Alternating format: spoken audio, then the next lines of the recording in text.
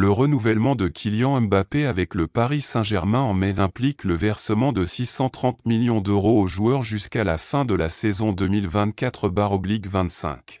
Avec cela, le Français surpasse, de loin, Neymar et Lionel Messi, selon le journal Le Parisien, qui a classé le contrat comme le plus gros jamais signé par un athlète, toutes modalités confondues.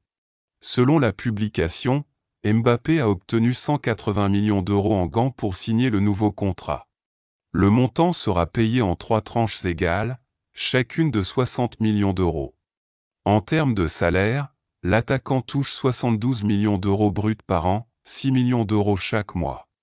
De plus, s'il reste au club, Mbappé touchera une prime croissante à chaque fin de mercato estival jusqu'à la fin de son contrat.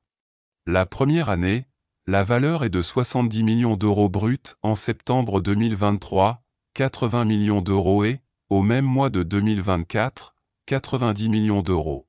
Au total, s'il reste au PSG jusqu'à la fin de son contrat, Kylian Mbappé touchera, en net, environ 282 millions d'euros. La valeur dépasse largement les contrats de Neymar et Messi.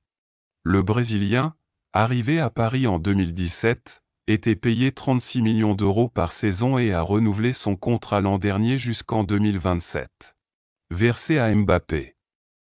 Messi, signé en 2021, a reçu 555 millions d'euros après son dernier renouvellement avec Barcelone. L'Argentin a cependant signé un contrat avec le PSG pour deux saisons fixes avec un salaire annuel de 41 millions d'euros net par an. De cette façon, il est, comme Neymar, loin d'empocher le même que Mbappé au Paris Saint-Germain.